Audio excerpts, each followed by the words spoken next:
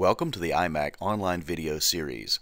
This video is flight path, aircraft attitude, and wind correction. Throughout this video, we will reference the 2015 Scale Aerobatic Rulebook. This will be the small print, 5.5 by 8.5. Rule 5.3 can be found on page 22.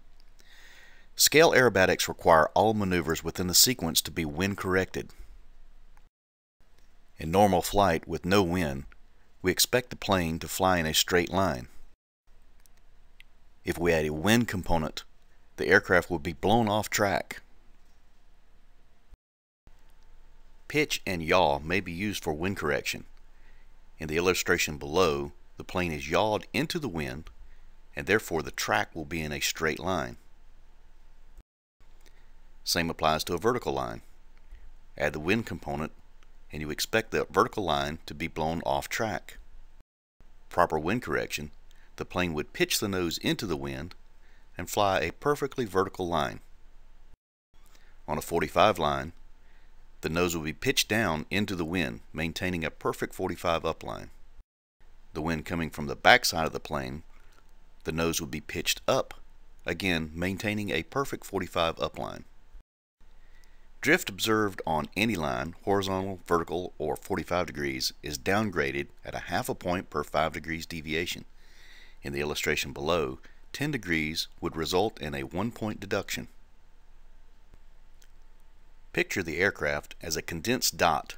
Judge the path or track this dot draws in the sky. This is the flight path or track of the aircraft's center of gravity.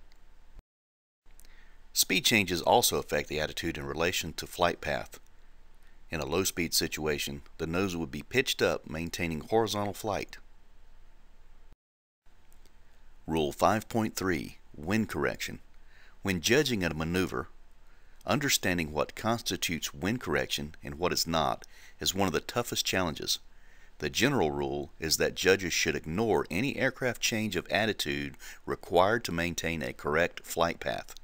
At the same time, the usual half point deduction per 5 degrees of deviation shall be applied to anything that is not related to wind correcting. In this illustration, we see the yaw attitude being used to maintain a perfect vertical upline. Judges should ignore attitude changes required to maintain proper flight path. Changes not related to wind correction are deducted at a half a point per 5 degrees of deviation. In some cases, to maintain a vertical upline, yaw may be changed. For instance, if the aircraft speed slows down or the wind increases, the yaw angle may be increased. This is to maintain a perfect vertical upline. Attitude changes due to a choppy wind or an inconsistent wind situation should be ignored by the judge. No deduction for wind correcting.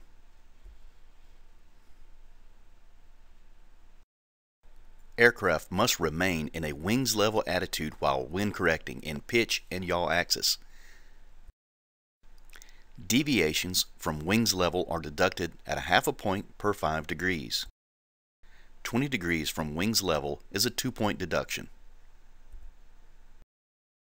Wind correcting is to be employed throughout the airspace.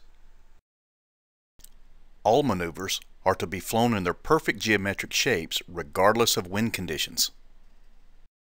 Loops and part loops must be round. To maintain a round loop, one would pitch into the wind or pitch out of the wind to maintain a perfect geometric shape. Vertical lines must track perpendicular to the horizon. Horizontal lines must track parallel to the x or the y axis.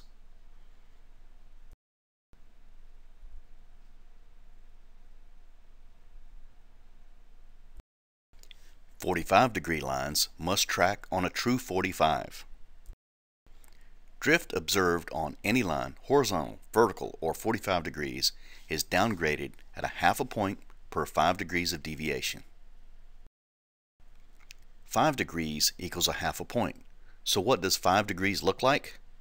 Remember that 1 minute on a clock is 6 degrees. Most judges actually underestimate angular error.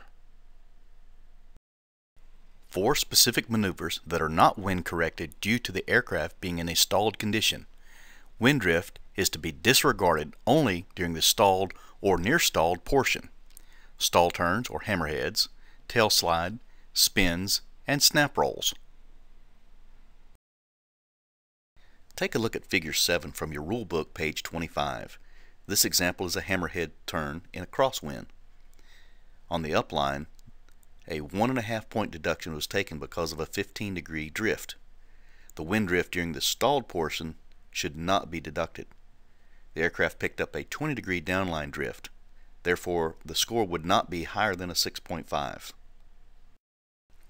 Rule 6.1 General Principles from the Rulebook, page 26. The geometry of figures presented, including the shape, radii, angles, flight path, direction of flight, heading, and bank angle must comply with the prescribed criteria. The distinctly recognizable start and finish of each figure within a horizontal line. The figure must be the one depicted on the flimsy, form B or C, appropriate to the direction of the flight chosen by the pilot. The grading criteria of each component will apply in a combination figure so that one overall grade for the figure will result. Let's take a look at the example below. Imagine the vertical upline, the track was off 10 degrees. It would result in a one point deduction. On the 45 down line, let's say he over-rotated by 15 degrees. That would be another one and a half point deduction. Final upline, track again was off by 10 degrees, resulting in a one point deduction. The total score for this maneuver would be 6.5. This is the total figure score. The length of the lines and the size of the radii caused by the flying characteristics of the aircraft are not to be taken into account in the grading. Negative figures are graded by the same criteria as positive figures. Speed of the aircraft is not a criterion. The first figure of a sequence begins at the moment the aircraft departs from its wings level horizontal flight path. A figure is complete at the moment the aircraft returns to a wings level horizontal flight path of one fuselage length. The only exception to this are the exit lines of the Aresti aerobatic catalog, family 7.4 and 7.6. This would be square loops and octagon loops. Rule 6.3 Zeros Omitting a figure in the program would result in a zero. In the illustration below, Let's say the pilot flies his downline on figure number one and omits the loop in the center and flies directly to the shark's tooth, figure number three. The loop would result in a zero. Flying a figure that deviates from the Aresti drawing held by the judges for scoring purposes. In the example below, for example, if he did not fly the loop as figure 2 and flew a teardrop or a Humpty Bump, the net maneuver would be zeroed because it was not flown as drawn on the Aresti. Adding a figure to a program will zero the next following correct figure except when it is necessary to perform a corrective maneuver due to the previous maneuver not being completed as per the program. Here's an example. The Humpty Bump was flown first and then the pilot would fly a loop or turns or something in the center, and then fly the reverse half Cuban. The reverse half Cuban number two would be zeroed because a figure was added to the program. A corrective maneuver can only be a turn of 270 degrees or less, and or a roll of 180 degrees or less. In this case, a break penalty would be assessed against the competitor's raw score prior to its normalizing. Let's take a look at corrective maneuver and the application of a break penalty. This is the example of the Humpty Bump, figure number 1, if it was flown correctly per the Aresti catalog.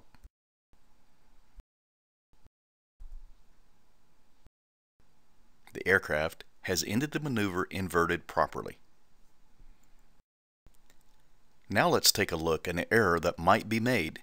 In this example, the pilot omits the half roll on the downline of the Humpty Bump. This would result in a zero of the Humpty Bump, maneuver number one. The pilot exited in the wrong attitude. The aircraft is upright when it should be inverted. The pilot then applied a proper corrective maneuver, in this case a 180 degree roll, to put the plane in the correct attitude. Maneuver number two would then be scored normally.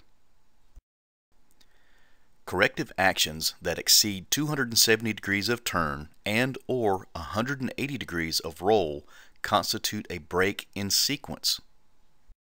A break in sequence is characterized by the total departure from the sequence to be flown. Let's take a look at the same example we used before. In this case, the pilot omitted the half roll and exited the mover incorrectly.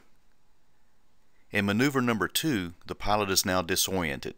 He performs more than the 270 degree turn and more than a 180 degree roll.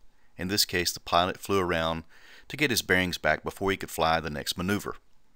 In this case, maneuver number one receives a zero for omitting the half roll, a break penalty is assessed, and maneuver number two is also zeroed because he has performed a break in sequence.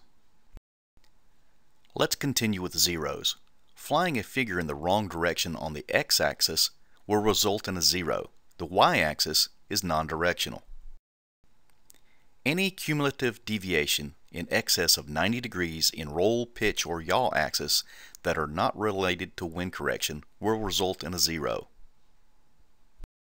Any figure or figures started and flown completely or partially on the pilot side of the deadline, the aircraft must clearly penetrate the deadline to receive a zero. If a judge misses one or more figures, or a part of a figure, such that the grade cannot be given with full confidence, the judge should then leave the score sheet spaces empty until the sequence is complete. He or she should then confer with the other judge and use his score for the missing figure. If both judges miss a figure, then ask the pilot to refly so he can receive a proper score. For more information, log on to mini-iac.com or arestisystem.com.